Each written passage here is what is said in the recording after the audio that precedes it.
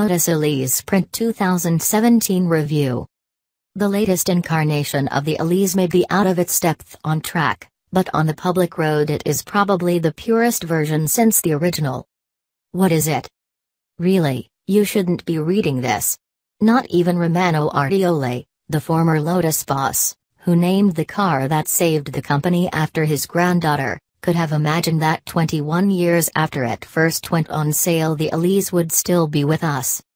It is the George Foreman, Martina Navratilova and Michael Schumacher of production sports cars, still hungry, still able and still super competitive, long after logic says it should be feed up by the fire with a library book and a mug of Horlicks. Then again, it's not had much choice in the matter. Such have been the travails of Lotus's recent history that the Elise has been required to work long past retirement age just to keep its maker afloat. But now just three more years remain before it can swap spikes for slippers and hand over to an all-new Elise. And to that end, a raft of modifications have been introduced to get it there.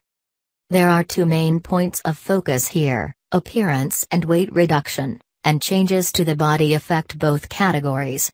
There's a new front clamshell with larger apertures and, therefore, less bodywork, and a new rear transom with single, rather than double, light clusters. The diffuser is made from aluminium, which has shed a total of 9 kilograms from the paneling. Inside, there's an open gate gear shift with a shorter throw, claimed to shave off another kilo, while optional carbon fiber cell covers lose 900 grams. Perhaps more importantly, there's a new instrument pack with dials that are easy to read, and a new infotainment unit offering Bluetooth for the first time on an Elise.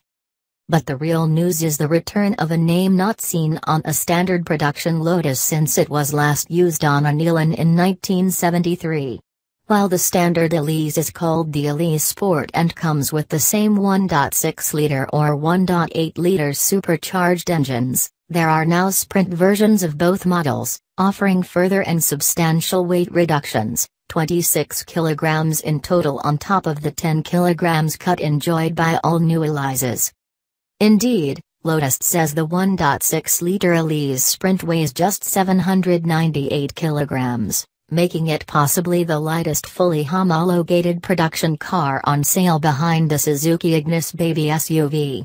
To achieve this, Lotus fits as standard forged alloys wheels, a 5 kg saving, a carbon fiber roll hoop and engine cover with a polycarbonate rear window, 6 kg, carbon fiber seats, 6 kg, and a lithium-ion battery, a whopping 9 kg saving.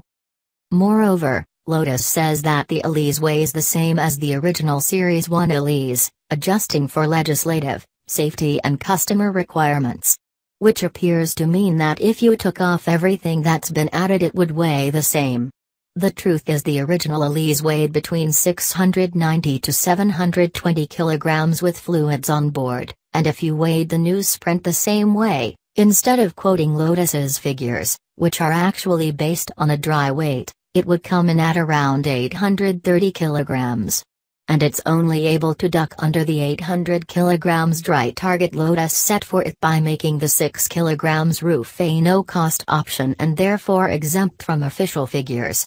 We say possibly then when comparing to the Ignis, as Suzuki doesn't quote a dry weight figure, only a figure of 810 kg with fuel and fluids. What next? A no-cost option powertrain? But if this is smoke and mirrors, it's no more so than the games played by other larger manufacturers. Most importantly, we shouldn't let this obscure what really matters, whatever the numbers, the Elise Sprint is a much lighter version of an already exceptionally light car. For a Lotus, that can only be good news. The styling revisions are a mixed blessing, no one will mistake this renewed Elise for the previous model, and while the new shape is more purposeful, it's also more aggressive. That said, the car is a little easier to access, thanks to fractionally wider door openings and lower sills if you choose the thinner carbon fiber covers. You'll notice, and welcome, the new clocks at once, but otherwise it's very much business as usual. What's it like? Time being short, I took first to the track. while the chunky stuff, such as the engine, gearbox, suspension and brakes, are all unchanged, less weight means they all have less work to do. You would, for instance, need to give the engine another 10 bhp in order to gain the same improvement in power to weight ratio brought by the reduction in mass, which is a lot in a car with only 132 bhp. That's why Lotus can claim a 0.3 seconds reduction in 0 to 62 miles per hour time, down to 6.2 seconds but extra power wouldn't make it corner any quicker, stop with greater alacrity, or feel more alive in your hands. The weight loss does all of that. And if all you do is drive it quite quickly, the Elise Sprint is a delight. The engine sounds purposeful and the gear change is perhaps the best I've enjoyed in a Lotus since the original Elan. It feels fluid in time-honored Lotus fashion and even more eager to change direction through the many alternating curves on the famous Hethel track. But if you drive it at proper track speed it feels less assured. I don't quibble with the quite modest performance nor with the fact that its relative lack of torque, Mid-engine configuration and lack of limited slip differential means it's no kind of drift machine. Less easy to reconcile in a Lotus is the quite pronounced understeer in corners both slow and fast. I love the fact Lotus has fitted the Sprint with skinny 175 section front tires, because it makes the car steer beautifully, but an 800 kg car with 132 bhp and no traction issues does not need a rear tire fully 5 sections wider. A 205 section tire, rather than the 225 fitted, would surely help the car's balance without compromising grip while saving even more weight in the process. To be fair, there is an Elise Cup for those who wish to thrash around tracks. Out on the road, the Sprint instantly recovers its composure. The weight modifications bring no revolution even in this environment, however, just a useful sharpening of already well-honed responses. I love the way you can drive it on the throttle without nearing the limit of adhesion just by using weight transference to angle the nose into or away from the apex via the medium of your right shoe. And I love the fact you so rarely have to slow down for anything, although when you need them, the brakes are astonishingly good for a car wearing such modest front tires. You just carry the speed, delight in the feel of the steering as that little wheel writhes around in your hand and get back on the power at a point where you'd be scarcely off the brakes in a heavier, less agile and less fluently configured car. Should I buy one? Lotus charges £5,000 extra for the Elise Sprint over the Sport, and without having driven the latter in its latest iteration, it's hard to say if the upgrade is worth it. It's far easier instead to ponder what else, at either price, offers this level of pure driving pleasure as well as enough practicality for hardy types to use for all seasons and reasons. The answer is the same as it's been these past 21 years none. Then, as now, the Elise is a unique proposition whose charm has barely diminished over the years. And with just three more to go, it looks certain to remain that way to the end, to the end.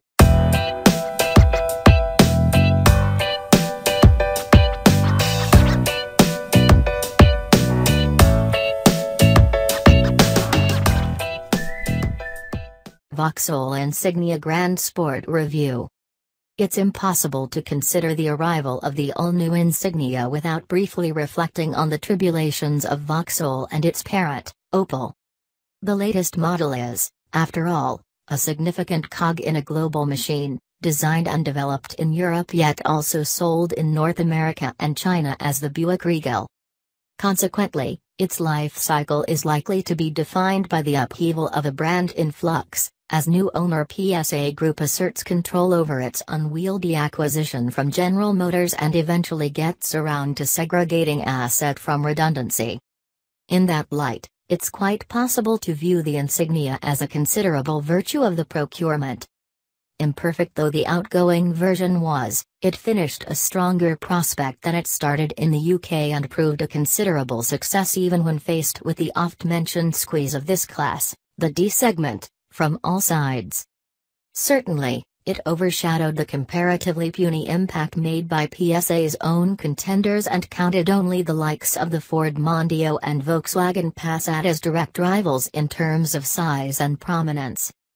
Both of those admittedly much newer models made the outgoing Insignia look every bit as old as nearly 10 years on sale suggested it was, though. Updates kept the car's nose above water, but it was still too heavy, too flaccid to drive, too muddled inside and too drab to be thought of with much enthusiasm beyond its cadre of business users. The new version, dubbed Grand Sport in hatchback format, is a conspicuously handsome attempt to address all of those faults. It promises to be lighter, leaner and better thought out than the car it replaces. Historically, it'll represent one of General Motors' last half dozen or so solo rolls of the dice in Europe. Topically, it'll become one of the most recognizable cars on British roads. We drove a 2.0 turbo D and SRi VX line nav trim to assess its worthiness for either accolade. Accolade